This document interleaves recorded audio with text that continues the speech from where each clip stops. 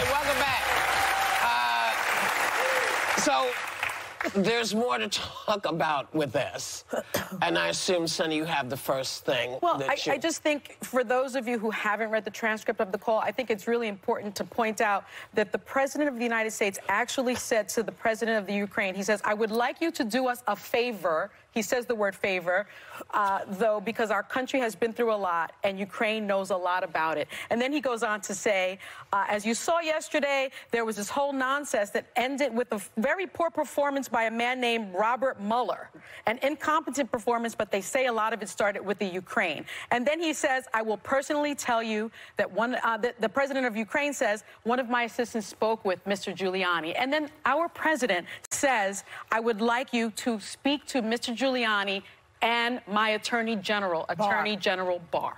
He actually says that he wants the Attorney General of the United States to call the president of the Ukraine and investigate Joe Biden and his son. Now, if that is not our president asking for help from a foreign entity for something of value to help him get elected in a campaign and a, vi a violation of campaign finance law, I don't know what is. Tell them it's clearly money. illegal. Can I just ask one question? Right. Yes. So, okay. Yeah.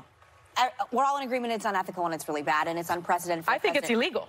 Okay, well, the question I have for you, though, is, okay, so we're doing, we're going to go impeach. It gets through Congress. You actually think Mitch McConnell is no, going to is no. going to continue and pass this in the I Senate? I think it's an impeach, impeachable offense. I do not think that two-thirds of the Republican Senate will do what's right for this country and convict him of they it. They will not. But that's, the question I, I have think. going forward, because you said you think it's good for the country earlier, which I, I don't. I, I think I it will unite this country when Americans, like during Watergate, watch what this president right. has been up to, lining his own pockets for the good of himself but and the, the family. Of, the optics of Joe Biden isn't country. good either. But optics actually, are not illegal.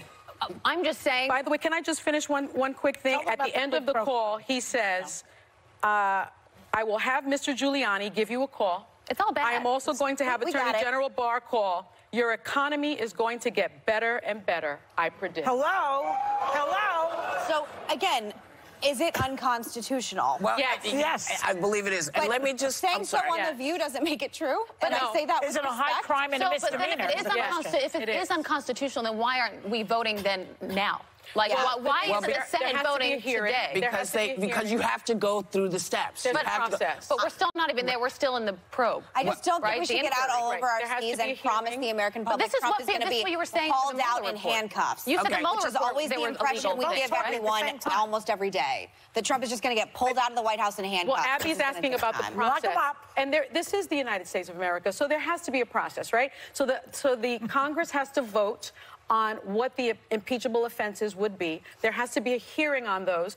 If they vote to impeach, then it goes to the Senate, and two-thirds of the Senate would have to vote to convict. And that's what they have to that's do in order to do the process. That's why they couldn't start it before, and that's why she was saying, I don't let us go through the correct process. Because once you start this, right. it, you've got to get it right. It's what yep. you said yesterday. Yep. You can't kind of sort of start today. You have to have your ducks in order.